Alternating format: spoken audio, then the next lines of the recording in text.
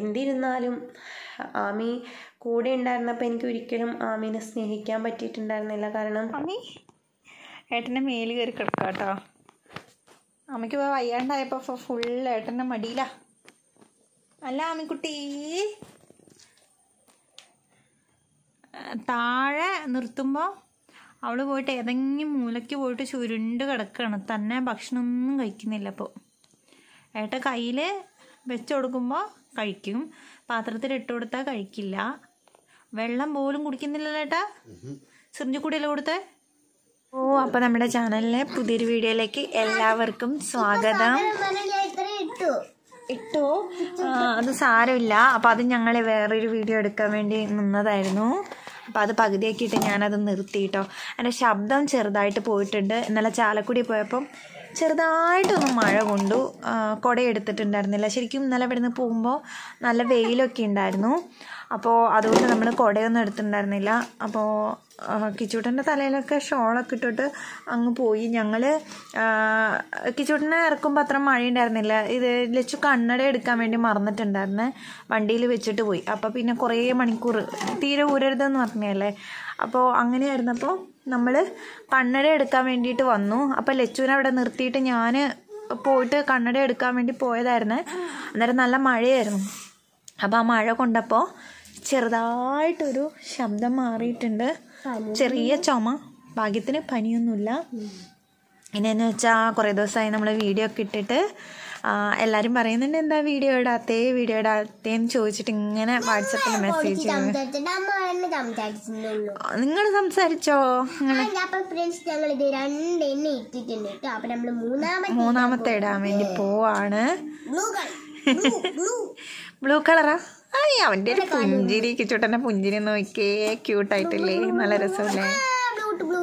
അങ്ങനെ ഫുള്ള് ഇനി കിച്ചുക്കുട്ടൻ ഒറ്റയ്ക്ക് ഇടും അല്ലേ? എന്റെ ശബ്ദം. ഗ്രീൻ ഇതാ കുറേ കളേഴ്സ് ഉണ്ട്. അപ്പൊ നിമ്മിയാന്റെ കിച്ചുട്ടൻ എന്റെ കിച്ചുട്ടന്റെ കുമ്പയെല്ലാം കാണുന്നുണ്ട്.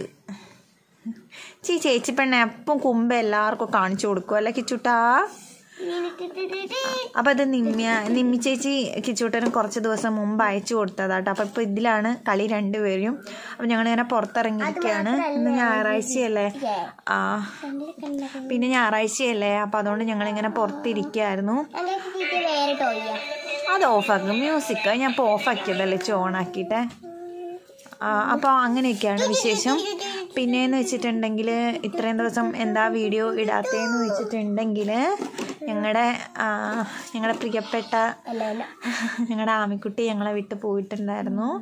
ഭയങ്കര വിഷമമായിരുന്നു കേട്ടോ ഞങ്ങൾക്ക് ഞങ്ങളുടെ വീട്ടിലെ ഒരാളായിരുന്നു ആമിക്കുട്ടി. പെട്ടെന്ന് അവിടെ അങ്ങ് പോയപ്പോൾ നമുക്ക് ഭയങ്കര വിഷമമായിരുന്നു കേട്ടോ. കാരണം കഴിഞ്ഞ ഒരു എട്ട് മാസത്തോളമായിട്ട് ആമി നമ്മുടെ കൂടെയുണ്ട്. നമ്മുടെ വീട്ടിലെ ഒരു കുഞ്ഞിനെ പോലെ തന്നെയായിരുന്നേ ആമി. അപ്പോൾ പെട്ടെന്ന് പോയപ്പോൾ ഭയങ്കര വിഷമമായിരുന്നു നമുക്ക്. പിന്നെയാണെങ്കിൽ ആമിക്കുട്ടിക്ക് എന്താ പറ്റിയെന്ന് സത്യം പറഞ്ഞു കഴിഞ്ഞാൽ ഇപ്പോൾ പറയാൻ അറിയില്ല. കാരണം ഒരു കുഴപ്പവും എന്താ പറയുക ഉണ്ടായിരുന്നൊന്നുമില്ല. ഇതിൽ കൂടെയൊക്കെ ഓടിച്ചാടി നല്ല വികൃതിയാട്ടോ. ഞാൻ എപ്പോഴും പറയാറുണ്ട് ഞാൻ എപ്പോഴും അമ്മീനെ വഴക്ക് പറയും. ഞാൻ ഈ കിച്ചണിലേക്ക് പോകുമ്പോൾ അവിടെ ഇങ്ങനെ പതുങ്ങിയിരിക്കും കേട്ടോ. അപ്പോൾ ഈ കാലനങ്ങുന്ന അവൾക്ക് ഭയങ്കര ഇഷ്ടമാണ് അപ്പോൾ നമ്മളിങ്ങനെ പോകുന്ന സമയത്ത് അവൾ ഓടി വന്നിട്ട് കാലിൽ ഇങ്ങനെ കെട്ടിപ്പിടിച്ച് നിൽക്കും അവൾക്ക് അത് ഭയങ്കര ഇഷ്ടമാണ് എന്നിട്ട് പിന്നെ ചീത്ത പറഞ്ഞിട്ടുണ്ടെങ്കിൽ മാറിയിരിക്കും. വീണ്ടും കുറച്ച് കഴിയുമ്പോൾ വീണ്ടും വന്ന് കാലിൽ പിടിക്കും. അവൾക്ക് ഇങ്ങനെ കാലനങ്ങുന്നൊക്കെ കാണാൻ വേണ്ടി ഭയങ്കര ഇഷ്ടമാണ് കേട്ടോ അതിനു വേണ്ടി ഇങ്ങനെ പതിഞ്ഞിരിക്കും. പിന്നെ അവൾ ആദ്യമൊന്നും വിളിച്ചാൽ വരില്ലായിരുന്നു പിന്നെ ഇവിടെ വന്നതിന് ശേഷമാണ് അവളുടെ പേര് ആമിയാന്ന് അവൾക്ക് മനസ്സിലായത്. കാരണം പിന്നെ പിന്നെ ആമി എന്ന് വിളിക്കുമ്പോൾ ഓടി വരും കേട്ടോ എവിടെയാണെങ്കിലും. ഇപ്പോൾ പുറത്തിറങ്ങുവാണെങ്കിൽ തന്നെ അവൾക്ക് ഭയങ്കര പേടിയാണ് അവൾ ഓടി അകത്തേക്ക്. ആമീന്ന് വിളിക്കുമ്പോഴേക്കും പേടിച്ച് അകത്ത് പോയിരിക്കും. പിന്നെയാണെങ്കിൽ എന്താ പറയുക ഏട്ടന് ഭയങ്കര കാര്യമാണ് കേട്ടോ മാത്രമല്ല ഏട്ടന് ഭയങ്കര ഇഷ്ടമാണ് പേടിയാണ്. ഏട്ടനടുത്തേക്ക് ആമീനോട് കൂട്ടിക്കയറാൻ പറഞ്ഞു കഴിഞ്ഞിട്ടുണ്ടെങ്കിൽ വേഗം പോയിട്ട് കൂട്ടിന്റെ ഉള്ളിൽ കയറിയിരിക്കും അങ്ങനെയൊക്കെയാണ്. ഭയങ്കര അനുസരണയാണ്. നമ്മളൊന്നും പറഞ്ഞാൽ അത്ര കേൾക്കില്ലെങ്കിലും ഏട്ടൻ പറഞ്ഞാൽ എല്ലാ കാര്യവും കേൾക്കും കേട്ടോ അങ്ങനെ അവസാനമൊക്കെ ആയപ്പോഴാണ് അവളെല്ലാം പഠിച്ചു വരുന്നത് എല്ലാ കാര്യങ്ങളും ചെയ്യാ ചെയ്യുമായിരുന്നു വിളിച്ചാൽ വരും. പിന്നെ ഏട്ടനങ്ങ് പോയി കഴിഞ്ഞിട്ടുണ്ടെങ്കിൽ മടി കയറിയിരിക്കും. അങ്ങനെ കുറേ നല്ല എന്താ പറയുക നമുക്ക് ഭയങ്കര സന്തോഷമായിരുന്നു കേട്ടോ. പിന്നെ കുളിപ്പിക്കലും കാര്യങ്ങളും ഒക്കെ ഏട്ടനായിരുന്നു ചെയ്തുകൊണ്ടിരുന്നത്. ആദ്യം ലച്ചമോളായിരുന്നു. പിന്നെ ഇവിടെ വന്നേരം പിന്നെ എല്ലാ കാര്യങ്ങളും ചെയ്യുന്നത് ഏട്ടനായിരുന്നു. അങ്ങനെ കുറേ ദിവസങ്ങൾ കുഴപ്പമൊന്നും ഇല്ലാണ്ട് പോയി. പിന്നെയാണ് പെട്ടെന്ന് നമുക്കൊരു പനി വരുന്നത്. നമ്മൾ നമ്മൾ ഭക്ഷണമൊന്നും കഴിക്കാത്ത കണ്ടപ്പോൾ നമ്മൾ വേഗം ഹോസ്പിറ്റലിലൊക്കെ കൊണ്ടുപോയിട്ടുണ്ടായിരുന്നു കേട്ടോ. കുട്ടീനെ കുറിച്ച് പറയാനാണെങ്കിൽ ഒരുപാടുണ്ട്. എങ്കിലും ഞാൻ ഈ വീഡിയോ വളരെ ഷോർട്ടാക്കിയിട്ട് പറഞ്ഞുതരാം കേട്ടോ. ആമിക്ക് നമ്മുടെ കൂടെ കളിക്കാനും എല്ലാത്തിനും ഭയങ്കര ഇഷ്ടമായിരുന്നു. അങ്ങനെ ഇരിക്കുമ്പോൾ പെട്ടെന്നാണ് ആമിക്ക് വയ്യാണ്ടാവുന്നത്. ആമി കൂട്ടിൽ നിന്ന് ഇറങ്ങുന്നില്ല ഭക്ഷണം കഴിക്കുന്നില്ല. പക്ഷെ അതിന്റെ ഇടയ്ക്കായിട്ട് രണ്ട് മൂന്ന് പ്രാവശ്യം ഹോസ്പിറ്റലിൽ കൊണ്ടുപോയി. ആദ്യം പനിയാണെന്ന് പറഞ്ഞു. രണ്ട് മൂന്ന് ഡോക്ടറെ മാറ്റി കാണിച്ചു. അങ്ങനെ കാണിച്ചപ്പോഴാണ് ഒരു ഡോക്ടർ പറയുന്നത് ഹെരണിയ എന്ന് പറയുന്ന ഒരു അസുഖത്തിന്റെ സ്റ്റാർട്ടിംഗ് ആണ്. അങ്ങനെ മാറാൻ കുറച്ച് സമയം എടുക്കുമെന്ന് പറഞ്ഞു. എന്നാലും കുഴപ്പമില്ല. നമ്മുടെ ഒരു കുഞ്ഞല്ലേ. അപ്പോൾ നമ്മൾ എങ്ങനെയായാലും ആമിനെ രക്ഷിച്ചെടുക്കുമെന്നായിരുന്നു നമ്മളും വിചാരിച്ചിട്ടുണ്ടായിരുന്നത്. അങ്ങനെ ഇടയ്ക്കിടയ്ക്ക് ഹോസ്പിറ്റലിൽ കൊണ്ടുപോകണം. ഒന്ന് ഇടവിട്ട ദിവസങ്ങളിലൊക്കെ പോയിട്ട് ഗ്ലൂക്കോസ് ഇഞ്ചക്ഷനൊക്കെ എടുക്കണം. അങ്ങനെയൊക്കെ ആമിനെ നോക്കി. പക്ഷെ ഒരു ദിവസം വീണ്ടും ആമയ്ക്ക് വയ്യാണ്ടായി. രാത്രി ഇങ്ങനെ തീരെ ഭക്ഷണം എടുക്കാൻ പറ്റാണ്ടായി. ഏട്ടൻ ഭക്ഷണമൊന്നും കൊടുത്തിട്ട് കഴിക്കാണ്ടായി. അങ്ങനെ ഏട്ടൻ ഡോക്ടറെ വിളിച്ച് പറഞ്ഞപ്പോൾ ഡോക്ടർ പത്തരി ആയിട്ടുണ്ടായിരുന്നു സമയം. അങ്ങനെ ഡോക്ടർ ഇവിടെ ഇല്ല ഏതോ ഡോക്ടറെ കണക്ട് ചെയ്തിട്ട് പെട്ടെന്ന് പോയിട്ട് ഇഞ്ചക്ഷൻ എടുക്കാൻ പറഞ്ഞു. പക്ഷെ അന്നത്തെ രാവിലെ അന്നത്തെ ദിവസം ഏട്ടൻ വീണ്ടും ഡോക്ടറെ അടുത്ത് കൊണ്ടുപോയതായിരുന്നു. ഈ രാത്രി വിളിക്കുന്നതിന് മുമ്പ് ആമിക്ക് വയ്യാണ്ടാവുന്നതിന് മുമ്പ് രാവിലെയും കൊണ്ടുപോയതാണ് അപ്പോൾ ഡോക്ടർ പറഞ്ഞു ഇതിനുള്ള ടെസ്റ്റുകൾ പൂക്കോട് വയനാട് പൂക്കോട് മാത്രമേ ഉള്ളൂ. അങ്ങോട്ട് കൊണ്ടുപോകാൻ പറ്റുമോ എന്ന് ചോദിച്ചു. അപ്പോൾ ഏട്ടനാ കൊണ്ടുപോവാം. അവിടുത്തെ ഡോക്ടറൊക്കെ വിളിച്ച് ബുക്ക് ചെയ്തു. അപ്പോൾ അവിടുത്തെ ഡോക്ടറും പറഞ്ഞു വെയിറ്റ് ഒന്നും ചെയ്യേണ്ട. വന്നപാട് എന്നെ വിളിച്ചാൽ മതി. നമുക്ക് സ്കാനിങ് ഒക്കെ ചെയ്തിട്ട് നോക്കാം. എന്നൊക്കെ പറഞ്ഞതായിരുന്നു കേട്ടോ. അങ്ങനെ രാത്രി എന്താ ഇപ്പോൾ പറയുക? ഏട്ടൻ ഭക്ഷണം കൊടുത്തുകൊണ്ടിരിക്കുമ്പോൾ ആമി ഉണ്ടായിരുന്നു വാഷ് ബേസിന്റെ അടുത്ത് ഇങ്ങനെ കിടക്കുന്നു. അപ്പോൾ എന്താ സംഭവം എന്ന് അറിയാണ്ട് ഞാൻ പോയിട്ട് ആമി ആമി എന്ന് വിളിച്ചപ്പോൾ ആമി തലയൊക്കെ പൊന്തിച്ച് നോക്കി. അവളുടെ ആ നോട്ടുണ്ടല്ലോ ദയനീയ അവസ്ഥ ഇന്നും അതേപോലെ തന്നെ കണ്ണിലുണ്ട്. ഞാൻ എനിക്ക് എന്റെ കണ്ണൊക്കെ നിറഞ്ഞ് ഞാൻ ഇവിടെ വന്നിട്ട് വിളക്ക് ദൈവത്തിനോടൊക്കെ പ്രാർത്ഥിച്ച് പൈസ കുഴിഞ്ഞൊക്കെ വെച്ചു കേട്ടോ പക്ഷേ ഏട്ടൻ അപ്പം തന്നെ ഇഞ്ചക്ഷൻ എടുക്കാൻ വേണ്ടി ഹോസ്പിറ്റലിൽ പോയി തിരിച്ചു വന്നപ്പോഴും അവൾ വണ്ടിയിൽ നിന്ന് ബാസ്ക്കറ്റിൽ നിന്ന് ചാടി പുറത്ത് വരാനാണ് നോക്കി അപ്പം ഞാൻ വിചാരിച്ചു മാമീന്റെ അസുഖം ഇത്രയും പെട്ടെന്ന് മാറിയോ ഇഞ്ചക്ഷൻ എടുത്തപ്പോൾ? എന്നാണ് ഞാൻ വിചാരിക്കുന്നത്. സത്യത്തിൽ ആമിക്ക് ആ ബാസ്ക്കറ്റിന്റെ ഉള്ളിൽ കിടന്നിട്ട് ശ്വാസം മുട്ടിയിട്ട് രക്ഷപ്പെടാൻ വേണ്ടിയിട്ടുള്ള ഒരു കളിയായിരുന്നു എന്ന് എനിക്ക് പിന്നെ മനസ്സിലായി. കാരണം ആ ബാസ്ക്കറ്റ് നേട്ടം പിടിച്ചു വെക്കാൻ നോക്കിയിട്ടൊന്നും അവൾ സമ്മതിക്കുന്നില്ല. അവൾ ബാസ്ക്കറ്റിൽ നിന്ന് ചാടി ഇവിടെ വിളക്ക് എത്തിക്കുന്ന അവിടെ വന്ന് കിടന്നു. അപ്പോൾ ഏട്ടൻ വിളക്ക് എത്തിക്കുന്ന അവിടെയല്ലേ എന്ന് വെച്ചിട്ട് ആമിനെ പൊന്തിച്ചപ്പോഴേക്കും ആമി ഒരു കാറിലങ്ങ് കാറി. ഞാൻ ചേട്ടൻ ഇപ്പോൾ എന്താ പറ്റിയെന്ന് ചോദിച്ചപ്പോൾ ഏട്ടൻ പറഞ്ഞു ആമിക്ക് സീരിയസ് ആണ്. വയ്യ. നാളെ എന്തായാലും ഡോക്ടറെ അടുത്ത് കൊണ്ടുപോകാമെന്ന് പറഞ്ഞു. അങ്ങനെ അവിടെ നിന്ന് കുറച്ചും കൂടി മാറി അപ്പുറത്ത് പോയി കിടന്നു.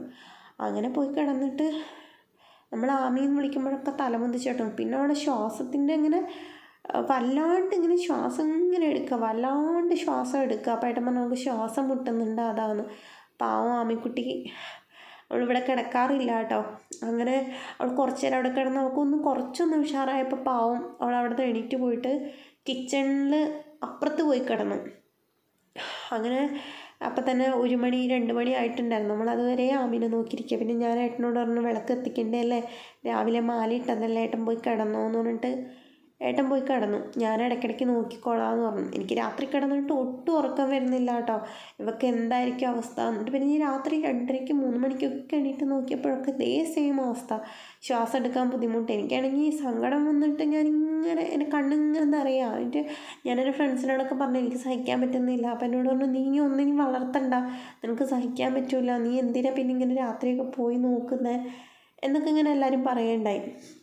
എന്നിട്ട് എന്താ പറയുക മൂന്ന് മണി വരെ വന്നു നോക്കിയപ്പോൾ ആമിക്ക് ശ്വാസം എടുക്കുന്നുണ്ട് കേട്ടോ. ആമി എന്ന് വിളിച്ചപ്പോൾ ആമി തലയൊക്കെ പൊന്തിച്ച് നോക്കി. എന്നിട്ട് വീണ്ടും കിടന്നു ലൈറ്റ് ഇട്ടപ്പം. അങ്ങനെ ഞാൻ വിചാരിച്ചു ഇനി ഞാൻ എണീറ്റ് നോക്കൂല. കാരണം എനിക്കും സമാധാനമില്ല. അപ്പം അങ്ങനെ ഞാൻ വന്ന് കിടന്നു കേട്ടോ. അപ്പം അങ്ങനെ രാത്രി രാവിലെ എട്ടിന് എട്ട് മണിക്ക് വയനാട് പോകുമെന്ന് പറഞ്ഞതാണ് ആമീനെ കൊണ്ട്. അപ്പം ഞാൻ എട്ട് മണിയായി എണീറ്റു.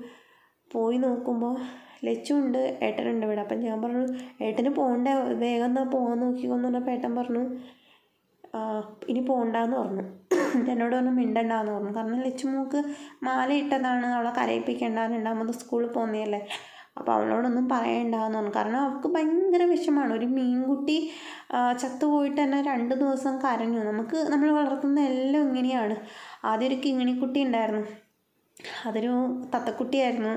അവളും ഇതേപോലെ ലച്ചുവിന്റെ തോളത്ത് കയറി നല്ല ആക്റ്റീവായിട്ട് നടന്നുകൊണ്ടിരുന്നതായിരുന്നു. വിളിച്ചു കഴിഞ്ഞാൽ വരും. അങ്ങനെ അങ്ങനെയായിട്ട് ഒരു ദിവസം അവൾ പുറം ലോകം ആദ്യമായിട്ട് കാണുന്നതുകൊണ്ട് അവൾ പറന്നിട്ട് ഷീറ്റിന്റെ പൊക്കത്ത് നമ്മുടെ വീട് ഷീറ്റായിരുന്നല്ലോ.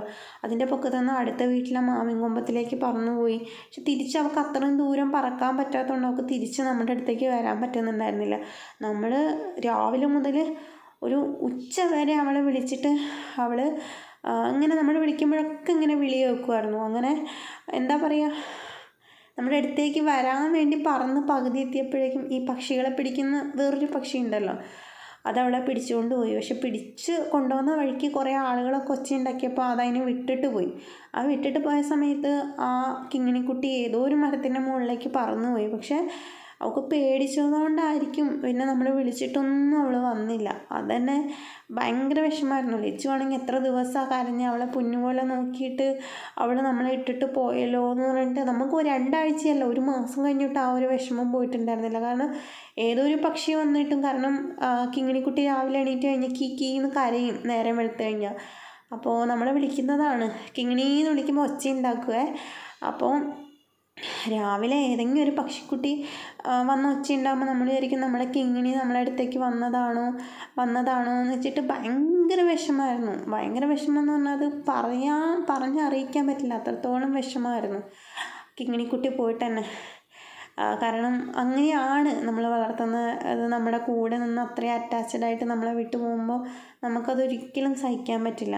അപ്പോൾ ഇതും കൂടി ലച്ചു അറിഞ്ഞു കഴിഞ്ഞാൽ എന്തായിരിക്കും അവസ്ഥ എന്ന് ഞങ്ങളിങ്ങനെ ആലോചിക്കുകയായിരുന്നു അതുകൊണ്ട് ലച്ചുമോളോട് പറഞ്ഞൊന്നുമില്ല കേട്ടോ.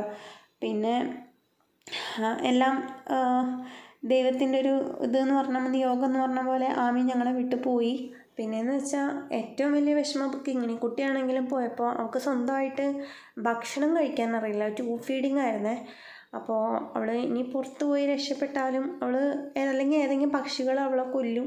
അല്ലെങ്കിൽ അവൾ ഭക്ഷണം കിട്ടാണ്ട് ചത്തുപോകും അപ്പോൾ അതും നമ്മളെ സംബന്ധിച്ച് ഭയങ്കര വിഷമമായിരുന്നു ആമി പോയപ്പോഴും ഇതേ സെയിം അവസ്ഥ തന്നെയായിരുന്നു.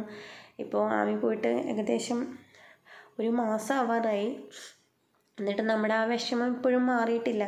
കാരണം ആമി നമ്മുടെ ഹൃദയത്തിലാണ് ഉണ്ടായിരുന്നത് ഭയങ്കര വിഷമമാണ്. ഇപ്പോഴും ആമിനെ കുറിച്ച് ആലോചിക്കുമ്പോൾ ഉള്ളിന്റെ ഉള്ളിലൊരു ഭയങ്കര വിഷമം തന്നെയാണ്. പിന്നെ ഏട്ടൻ അമ്പലത്തിൽ മാല ഇട്ടതല്ലേ? അപ്പോൾ എന്തെങ്കിലും ദോഷം ഉണ്ടോ എന്നറിയാൻ വേണ്ടി അമ്പലത്തിൽ പോയപ്പോൾ അവർ പറഞ്ഞു മാലയൊക്കെ ഇട്ടതല്ലേ? അപ്പോൾ അങ്ങനെ വീട്ടിൽ സംഭവിക്കുകയാണെങ്കിൽ കുഴപ്പമില്ല. നമുക്ക് വരാനിരിക്കുന്നത് അത് മൃഗങ്ങൾക്ക് അത്രേ വരിക. അവർക്ക് വന്നു കഴിഞ്ഞിട്ടേ നമുക്ക് വരുള്ളൂ. അതുകൊണ്ട് ആ കാര്യത്തിൽ പേടിക്കണ്ട പറഞ്ഞു. പിന്നെ എല്ലാവരും പറയുന്ന മാതിരി ഒരുപാട് ജന്മങ്ങളില്ലേ അപ്പോൾ അവരുടെ ഈ ഒരു മൃഗമായിട്ട് ജീവിക്കേണ്ട ജന്മം കഴിഞ്ഞു അങ്ങനെയൊക്കെയാണ് പറയുന്നത്. അവർക്ക് മോക്ഷം കിട്ടി ആ ഒരു രീതിക്കൊക്കെയാണ് പറഞ്ഞത്. എന്തിരുന്നാലും ആമി കൂടെ ഉണ്ടായിരുന്നപ്പോൾ എനിക്ക് ഒരിക്കലും ആമീനെ സ്നേഹിക്കാൻ പറ്റിയിട്ടുണ്ടായിരുന്നില്ല. കാരണം കിച്ചുക്കുട്ടന് എന്തെങ്കിലും കുഴപ്പം വരുമോ രോമം ആയിക്കഴിഞ്ഞിട്ടുണ്ടെങ്കിൽ ഭക്ഷണത്തിലായിട്ടുണ്ടെങ്കിൽ പ്രശ്നം വരുമോ പ്രശ്നം വരുമോ എന്ന് ആലോചിച്ച് ഞാൻ ആമീനെ എടുക്കുക പോലും പോലും ഉണ്ടായിരുന്നില്ല കേട്ടോ. ഞാൻ അവളെ എടുത്ത് കളിപ്പിക്കുമോ അങ്ങനെയൊന്നുമില്ല. എനിക്ക് പേടിയായിരുന്നു. ലച്ചു എടുത്താൽ തന്നെ ലച്ചുവിനോട് ഞാൻ പറയും നീ കൈ കഴുകിയിട്ട് വാ. കിച്ചുക്കുട്ടനെ തൊടരുത്. ആമി ഇങ്ങോട്ട് കയറുമ്പോൾ ചീത്ത പറയും. കാരണം എനിക്ക് പേടിച്ചിട്ടാണ്. കാരണം മോൻ എന്തെങ്കിലും പറ്റുമോ എന്ന് പേടിച്ചിട്ടാണ് ഞാൻ അവളെ സ്നേഹിക്കാണ്ടിരുന്നത്. പക്ഷേ ഇപ്പം അതിൽ എനിക്ക് ഭയങ്കര വിഷമമുണ്ട്. കൂടെ ഉണ്ടായിരുന്നപ്പോൾ അവളെ ഒരിക്കലും സ്നേഹിക്കാൻ പറ്റിയിട്ടുണ്ടായിരുന്നില്ല അവൾ പോയി കഴിഞ്ഞപ്പോഴാണ് മനസ്സിലായി അവൾ കുറച്ചും കൂടി ഉണ്ടായിരുന്നെങ്കിൽ അവളെ ഒന്ന് കെട്ടിപ്പിടിക്കായിരുന്നു അവളെ ഒന്ന് കുഞ്ചിക്കായിരുന്നു എന്നൊക്കെ തോന്നി. അവളിപ്പോൾ നമ്മളെ വിട്ട് പോയി കഴിഞ്ഞപ്പോൾ. ഇനി ഒക്കെ വയ്യാണ്ടായ സമയത്ത് ഞാൻ ദൈവത്തോട് പ്രാർത്ഥിച്ച ദൈവമേ ഞാൻ ആമീൻ ഒരിക്കലും നന്നായിട്ട് സ്നേഹിച്ചിട്ടില്ല. എനിക്കൊരു അവസരം കൂടി തരുവാണെങ്കിൽ ഞാൻ അവളെ നന്നായിട്ട് നോക്കുമായിരുന്നു എന്ന് ഞാൻ ദൈവത്തോട് പറഞ്ഞു. പക്ഷേ ദൈവം എനിക്കൊരു അവസരം പോലും തന്നില്ല. പക്ഷേ അതാണ്. നമ്മൾ കൂടെ എല്ലാവരും ഉണ്ടാകുമ്പോൾ എല്ലാവരുടെ അവസ്ഥ ഇങ്ങനെയൊക്കെ തന്നെയാണ്. അപ്പം അച്ഛനും അമ്മയും കൂടെ ഉണ്ടാകുമ്പോൾ അവരുടെ വില നമുക്കറിയില്ല. പക്ഷെ അവർ നമ്മളെ വിട്ടു പോകുമ്പോഴാണ് അവരുണ്ടായിരുന്നപ്പോൾ നമുക്ക് അങ്ങനെയായിരുന്നു എന്ന്. എല്ലാ അച്ഛനമ്മ എന്നല്ല ഏതൊരു സഹോദരി സഹോദരി ഏത് ബന്ധവും കൂടെ ഉണ്ടാകുമ്പോൾ നമ്മൾ ഒരിക്കലും അവരുടെ വിലയോ അവരുടെ മഹത്വമോ ഒന്നും തിരിച്ചറിയില്ല. പക്ഷേ അവരങ്ങ് ഇല്ലാണ്ടാവുമ്പോഴാണ് നമ്മൾ എത്രത്തോളം അവരുടെ പ്രസൻസ് ആഗ്രഹിച്ചിരുന്നു എന്നൊക്കെ. അപ്പോൾ ആമി എന്ന് പറയുന്നത് അവളൊരു മൃഗമായിരുന്നു. പക്ഷെ നമ്മൾ അങ്ങനെയല്ല അവളെ കണ്ടത്. നമ്മുടെ വീട്ടിലെ ഒരാളായിട്ടാണ് കണ്ടത്. പക്ഷെ അവൾ കൂടെ ഉള്ളപ്പം അവളുടെ വിലയൊന്നും അറിഞ്ഞില്ല. അവളെ കുറിച്ച് നമ്മൾ ചിന്തിച്ചുമില്ല. പക്ഷെ അവൾ നമ്മളെ വിട്ടു പോയി കഴിഞ്ഞപ്പോൾ അവൾ നമുക്ക് എത്ര പ്രിയപ്പെട്ടതാണ് അപ്പോഴാണ് നമുക്ക് മനസ്സിലായത്. എല്ലാവരുടെ അവസ്ഥ ഇങ്ങനെ തന്നെ. അപ്പോൾ അതിനകത്ത് നിന്ന് ഞാൻ മനസ്സിലാക്കിയത് ഈ സ്നേഹം എന്ന് പറയുന്ന സാധനമൊന്നും എടുത്തു വെക്കാനുള്ളതല്ല. കാണിക്കാനുള്ളപ്പോൾ കാണിക്കണം. പിന്നീട് നമുക്കതൊരിക്കലും എന്താ പറയുക കാണിക്കാനൊരു അവസരം പോലും ചിലപ്പോൾ ദൈവം തരില്ല. അതാണ് ഈ ഒരു ജീവിതം എന്ന് പറയുന്നത്. എന്നിരുന്നാലും ആമി എപ്പോഴും എന്റെ ഹൃദയത്തിൽ അങ്ങനെ തന്നെ ഉണ്ടാവും. പിന്നെ എന്നും പറയുന്ന പോലെ നമ്മുടെ ഈ വീഡിയോ ഇഷ്ടപ്പെട്ടാൽ ലൈക്ക് ചെയ്യുക കമന്റ് ചെയ്യുക സബ്സ്ക്രൈബ് ചെയ്യാത്ത ആരെങ്കിലും ഉണ്ടെങ്കിൽ ഒന്ന് സബ്സ്ക്രൈബും കൂടി ചെയ്യാം കേട്ടോ.